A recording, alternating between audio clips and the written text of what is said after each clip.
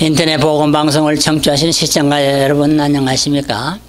오늘 성경 퀴즈 제 131회 사랑의 사도 요한에 대해서 해설과 함께 퀴즈로 어, 은혜로운 시간을 가지려고 합니다. 열두 사도 중에도 사랑이 가장 많은 사도가 누구냐 하면은 사도 요한인 것을 우리는 알 수가 있습니다. 왜냐하면은 사도 요한이 기록한 서신을 보면은 사랑을 가장 많이 강조하고 있기 때문에 또 예수님으로부터 가장 많은 사랑을 받은 사도이기 때문에 그는 별명이 사랑의 사도 요한이라 그렇게 말할 수가 있죠. 어, 첫 번째 우리는 어, 사랑의 사도 요한에 대한 인적 사항을 보겠는데요. 요한이라는 뜻은 여호와는 은혜로우시다 하는 그런 뜻인데 히브리어 요한난의 헬라 음력으로 요한이라고 어, 성경은 기록을 했습니다. 세베대의 아들이며 야고보의 형제입니다. 모친의 이름은 살로메라고 했고요. 열두 제자 중에 한 사람이 되었고 야고보와 함께 예수님께서 우리의 아들이라고 불렸고요. 어, 사도 요한은 요한복음, 요한 1서, 요한 2서, 요한 3서 그리고 요한 계시록을 어, 기록했습니다. 그 요한복음, 요한 1, 2, 3서, 요한계시록 전부 요한이 기록한 것을 우리가 볼 수 있는 이 다섯 권의 책은 사도 요한이 기록한 책입니다. 시대적인 배경을 보면은요, 예수님의 공생애로부터 어, 로마 황제 도미치안 통치 이후까지 즉 주 27년에서 95년 이후까지 어, 활용했던 사도가 사도 요한입니다. 이 시기는 예수 그리스도의 공생애로부터 초대교회가 태동하고 또 과도기를 거쳐서 확장기, 성숙기에 이르는 시기였던 것을 볼 수가 있습니다. 이 긴 태동기에서 성숙기에 이르기까지 사도 요한은 오랫동안 복음을 위해서 수고자이죠. 이 기간 동안에는 특별히 유대교의 박해, 종교적인 박해가 있었고 로마 제국의 정치적인 박해가 있었고 또한 세 번째는 이단들의 공격과 박해가 있었습니다. 그래서 대내외적으로 참으로 어려운 어, 초대교회 시대에 교회를 조직하고 교회를 정비하고 정통 교리를 확립하고 어, 정립해 나가는 일에 사도야 하는 막대한 영향을 어, 끼쳤던 것을 볼 수가 있습니다. 사도야는 이러한 전 시기에 열두 사도 중에는 어, 최후의 마지막까지 가장 오래 남아서 활약했던 인물이라고 우리는 기억해야 할 것입니다. 아, 그의 생애에 있어 중요한 것을 생각해 보는데요. 예수님의 승천 이전과 이후를 생각해 보는데 예수님의 승천 이전에는 가버나움에서 어부 생활을 했고요. 예수님의 제자로 부름을 받았고 예수님의 많은 이적과 기사를 목격했고 변화산상에서 변화된 예수님의 모습도 목격했고요. 최후의 만찬 때는 예수님의 품에 안긴 자가 바로 사도 요한이었습니다. 그래도 예수님이 십자가에 달리기 직전 체포될 때는 예수를 버리고 도망갔던 자라 이렇게 성경 기록했습니다. 그는 그러나 예수의 십자가 처형을 직접 목격한 사람이고 예수의 모친을 끝까지 복량한 사람 이라고 보고 예수의 부활을 목격한 사람이었던 것을 볼 수가 있습니다. 예수님이 성천하신 이후에 사도 요한의 생애는 오순절 성령 강림을 체험한 어, 사도입니다. 베드로와 함께 성전 미문의 안전뱅이를 고치는 체험을 했고요. 사내들인에서 신문을 받았고 사마리아로 어, 이제 전도자로 파송되었고 요한복음을 기록했고 요한 1서, 2서, 3서를 기록했습니다. 그리고 밤모섬에 유배되어서 어, 외롭게 살아갈 때에 그는 어, 하늘의 계시를 보고 요한 계시록을 기록했던 것을 볼 수가 있습니다.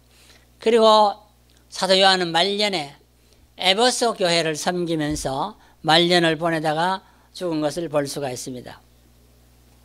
그의 성품은 어, 첫째로 배와 그물을 다 버리고 즉각 예수를 따랐다 하는 것을 보아서 역시 예수가 제자, 예수의 제자가 되려는 결단력이 있는 제자였다. 이게 볼 수가 있고요. 야고보와 함께 우리 아들이라는 별명을 들은 것을 볼 때에 또 배척한 주님을 배척한 사마리아인들에게 불이 내리기를 원하는 것을 볼 때에 불같은 화라산 같은 성격의 소유자였던 것을 우리가 볼 수가 있습니다. 아, 세 번째 그 성격을 볼 때는 모친을 통해서 예수님께 높은 직책을 요구한 것을 볼 때에 지상의 야망이 컸던 자였던 것도 볼 수가 있고요. 어, 네 번째는 제자가 아니면서도 주님의 이름으로 귀신을 쫓아내는 자들을 책망한 것으로 보아서 사도로서 자부심이 강하고 어, 외골수적인 성격을 가졌다고 볼 수가 있고요. 다섯 번째 그의 성품은 예수님의 공생의 기간 중 특별히 많은 사랑을 받았고 가까이에서 주님을 섬겼을 뿐만 아니라 어, 머니 마리아를 모시라는 예수님의 부탁을 받은 것으로 보아서 책임감이 있고 신뢰감이 있는 제자였던 것도 볼 수가 있습니다. 열두 제자 중에 유일하게 예수님의 십자가 형장까지 따라가서 어, 그 모습을 보았다는 것은 용기와 의리가 있는 어, 성품이었다는 것도 알 수가 있고요. 말년에 사랑의 사도로 부릴 정도로 사랑이 많이 예, 있었던 사랑을 베풀었던 제자인 것도 볼 수가 있습니다. 우리는 사도 요한의 구속사적인 지위를 볼 때에 첫째 예수님의 열두 제자 가운데 특별히 특별한 사랑을 받은 3인 중 한 사람이었다. 우리가 볼 수가 있고요. 오순절 성령 강림 후 우리 아들에서 사랑의 사도로 변화된 것도 우리가 볼 수가 있고 예수를 믿으면 이와 같이 과거의 성품이 바뀌어서 새로운 성품으로 바뀐다는 것을 볼 수가 있죠. 열두 제자 중에 유일하게 십자가 행령까지 쫓아간 것을 볼 때 예수의 최후의 죽는 순간을 지켜본 사도였다는 것도 볼 수가 있고요. 요한복음, 요한 1, 2, 3서, 요한 계시록의 저술 가운데 사랑에 대해서 50번 이상이나 기록한 것을 볼 때에 그런 사랑의 사도로 불림을 받아야 마땅하다는 것도 볼 수가 있습니다. 그의 중요한 업적을 볼 때에 모든 것을 버리고 예수를 쫓았다. 이게 알 수가 있습니다. 예수를 쫓는다는 것은 세상의 부귀영화를 다 버리고라도 쫓아갈 가치가 있기 때문에 그렇죠. 그 다음에 예수의 십자가 마지막 형장까지 따라갔다. 아, 최후의 마지막 순간까지를 지켜보는 것이 그의 중요한 업적이 되겠습니다. 그리고 예수님의 공생의 기간 중에서 가장 가까이 항상 주님을 따르면서 주를 섬겼다는 것도 볼 수가 있고요. 예수님이 돌아가실 때에 예수님의 모친 마리아를 어, 바로 사도 요한에게 부탁했다. 내 어머니를 복양하라고 어, 그렇게 부탁을 한 것을 볼 수가 있고 또 요한복음 요한 서신과 1, 2, 3 서신과 계시록을 기록함으로 성경 기록의 종지부를 찍었다. 더 이상 계시를 쓸 수도 없고 어, 뺄 수도 없는 마지막 종지부를 사도 요한이 찍었다는 것을 볼 수가 있습니다. 사랑의 사도로서 신앙생활에 있어서 사랑의 실천의 중요성을 가장 많이 강조한 어, 사도가 바로 사도 사랑의 사도 요한인 것을 볼 수가 있고 열두 사도 중에도 제일 늦게까지 살아서 생존하여 교회를 돌봤던 것도 우리가 볼 수가 있습니다. 그러나 사도 요한에게도 실수가 있다면 예수님이 체포 당시에는 도망을 쳤다는 것이고 지상에서 어, 세속적인 야망을 이루기 위해서 예수님의 좌우 정성을 요구했다는 것들은 많은 제자에게 미움을 받고 다툼을 일으키는 요인이 됐다는 것도 볼 수가 있습니다. 아, 참 이같이 사랑의 사도지만은 그에게도 우리는 실수가 있다. 실수 없는 사람이 없겠지요. 그러나 하나님께서 이런 사람들 다 변화시켜서 사랑의 사도로 어, 사용하시는 것을 우리가 볼 수가 있습니다. 우리는 예, 사랑의 사도를 통하여 어, 몇 가지 교훈을 받는 것입니다. 어, 성급하고 과격하고 세속적인 야심으로 가득 찼던 요한도 그리스도를 만남으로 말미암아 점차 사랑의 사도로 변화되어가는 모습입니다. 우리는 예수를 믿기 전에 어떠한 성품을 가지고 살아왔든지 뒤져보면 다 자기만은 분명히 알 것입니다.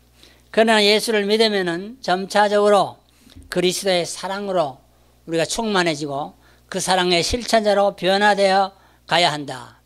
그리스도 안에서 새로운 피조물로 어, 지음을 받아야 한다. 과거에 좋지 못한 어, 성격이나 습관을 버려야 한다는 것을 볼 수가 있습니다.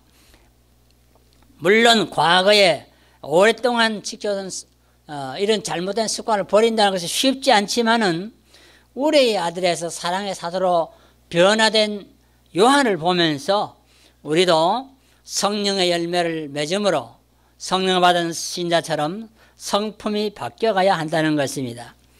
아, 두 번째 우리가 받아야 할 교훈은요.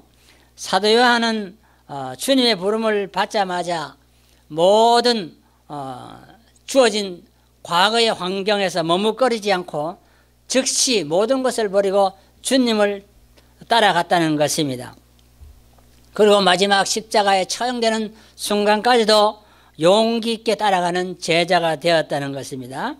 이러한 모습은 우리가 예수 그리스도를 믿는 데 있어서 어떠한 타협이나 주저함이나 연기가 있어서는 안 된다는 것이죠. 세상 것 때문에 머뭇거려서는 안 된다는 것입니다.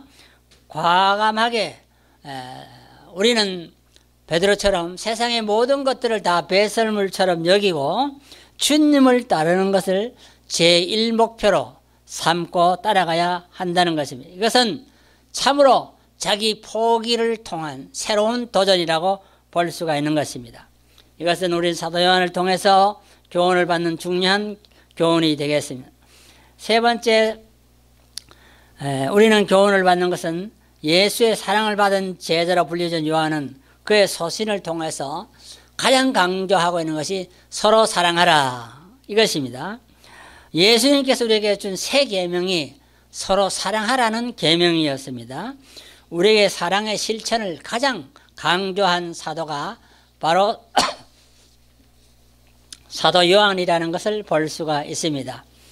우리의 죄를 대신하여 독생자까지 아낌없이 주신 하나님의 무한대 사랑을 본받아서 우리도 그 사랑을 본받기 위해서 예수님의 제자가 되었으니 이제 우리도 사랑하라는 실천자가 되고 많은 자들에게 서로 사랑하라는 권면하는 제자의 삶을 살아가야 할 것입니다.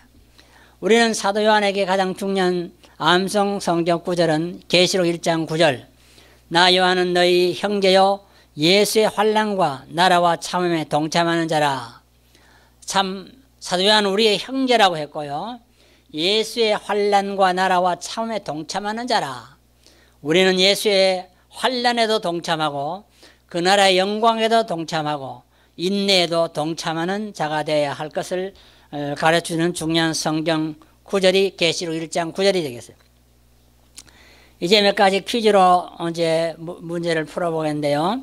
사도 요한의 부모님의 이름은 무엇이냐? 마가보, 마태복음 10장 2절을 보면은 어, 아버지는 세대, 세베대, 어머니는 살로메라고 했습니다. 야고보와 함께 예수님께서 주신 별명은 무엇이냐고 했는데 우리의 아들이라고 했습니다. 사도 요한이 기록한 성경은 무엇이냐고 했는데 요한복음, 요한 1서, 2서, 3서, 계시록 이 다섯 권의 책이라고 했습니다. 예수의 제자로 부름 받기 전에 무엇을 했나요 했는데 가버나움에서 업으로 활동을 했다 했습니다. 변화산에서 사도 요한은 무엇을 목격했나요 했는데 예수님의 영광스러운 변화된 모습을 목격했다 그랬습니다.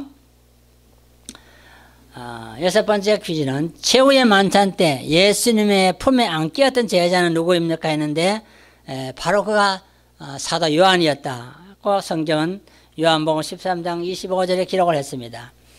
1번째 퀴즈는 요한도 예수님이 체포 당시에 무엇을 했나요 했는데 도망을 쳤다.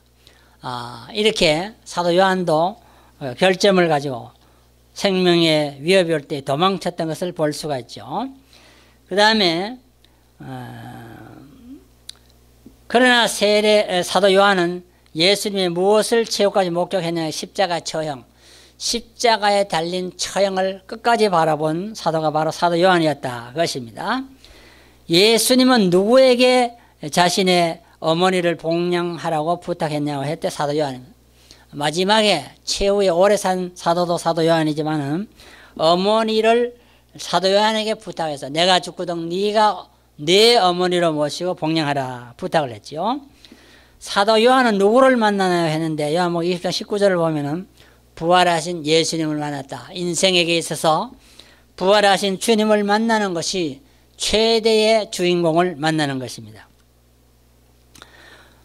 오순절 날에 요한은 무엇을 체험했나요 했는데 사도행 2장 1절 이하를 보면은 성령 강림, 성령 충만을 체험했다고 했습니다. 열두 번째, 요한은 베드로와 함께 성전 미문에서 누구를 고쳤냐 했는데 나면서부터 안진병이를 고쳤다. 열세 번째 사도 요한은 성경 무엇을 기록했나 했는데 요한복음 1, 2, 3, 4와 계시록 다섯 권의 책을 봤다. 사도 요한은 어느 섬에 유배되었나 했는데 지중해에 있는 반모섬에 유배되어서 외롭게 지날 때에 하나님이 천상의 계시를 보여줘서 요한 계시록을 기록하게 되었다는 것을 말씀드립니다. 여러분 아, 한 주간도 사도 요한을 생각하면서 사랑의 실천자가 되시기를 주의 이름으로 축원합니다. 여러분 안녕히 계십시오.